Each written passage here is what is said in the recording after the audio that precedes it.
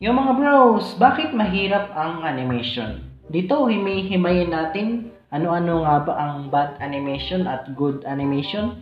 Bakit mahirap ang animation sa pagiging beginner? At ano nga bang content na ginagawa ko? Oh yeah, ito na yung pinaka-panic na script na nagawa ko. Bukas na lang. Mga bros, may halo munang live action itong commentary ko para i-demonstrate ko sa inyo bakit mahirap ang animation. Well, yeah. Well, hindi naman talaga. Ang pagiging animator, dapat masipag ka sa pag-animate. Yeah, di ko na kailangan i-explain basta mag-drawing ka ng combination ng mga drawing para makagawa ka ng movement or tinatawag itong animation. May video si Arkin na in-explain niya kung bakit matagal siya mag-upload. At in-explain niya rin kung gaano katagal mag-animation. At kung natapos mo daw yun ng isang araw, sa'yo na daw ang account niya.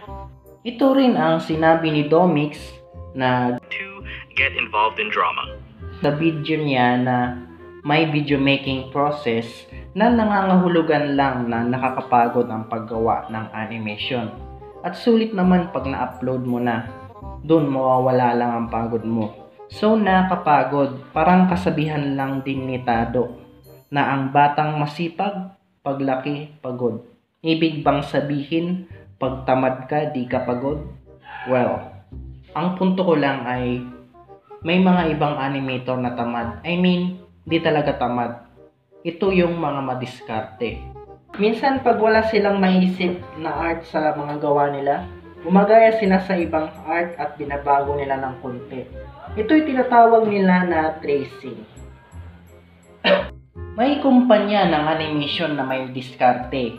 Minsan di sila nag-splash ng tubig kasi ang tubig ay mahirap i-animate Same din sa Naruto run, yung ganito na run.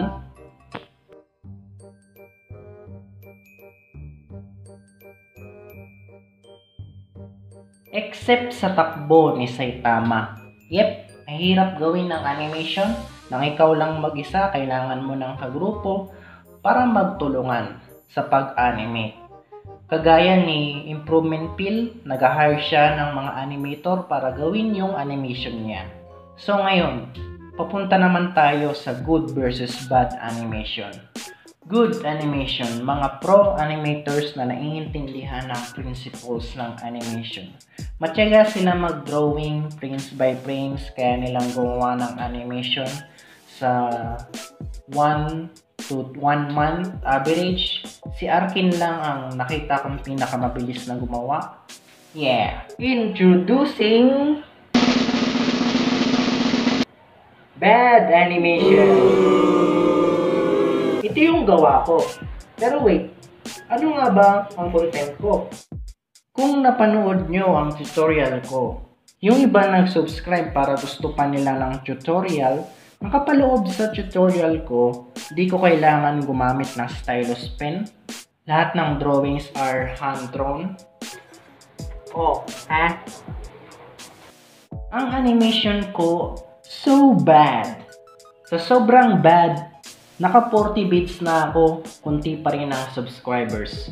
You're joking me, right? 14 bits pero maraming subscribers. Kasi hindi naman ako nakakatawa. Ginawa ko yung parkotter sa extremely low budget. Alam nyo kung magkano? 5 piso lang. Pambili ko ng papel. Except sa internet na go certificate. Kasi alam mo, ang content ko ay hand-drawn animation. Pag na-convert na sa video, tinatawag ito na slideshow or anim- animatic o tinatawag na PMV o mas kilala bilang picture music video. Yeah, ako'y bad boy na animator at di ko babaguhin ang content ko.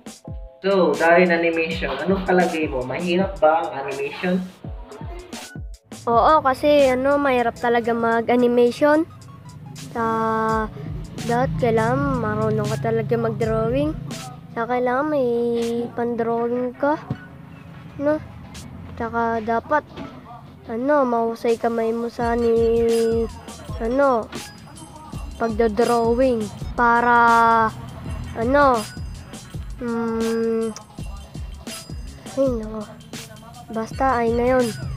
Tsaka nga pala, Parkoter, maraming salamat ini at inimbita mo ako dito sa iyong YouTube channel.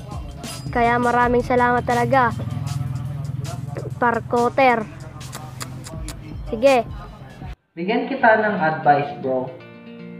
Ang gawin mo lang maniwala ka sa sarili mo na kaya mong mag-drawing. At kilala mo ba si Juan na creator of One Punch Man? Ang ginawa lang niya, naniwala lang siya sa sarili niya na kaya niya. At siya na ngayon ang nakakreate siya ng pinaka-OP na anime at pinakasikat na manga of all time. Actually, hindi naman pinaka. At ang ginawa lang niya ay naniwala siya sa sarili niya at lahat pwede niyang magawa. So yun bro, maniwala ka lang sa sarili mo at magagawa mo yun. Pahingi naman ng subscribe at paiwan na rin ng like kung nagustuhan mo yung video. At iniimbitahan kita na manood din ng dating daan sa YouTube 7pm ng gabi. So ingat mga bros!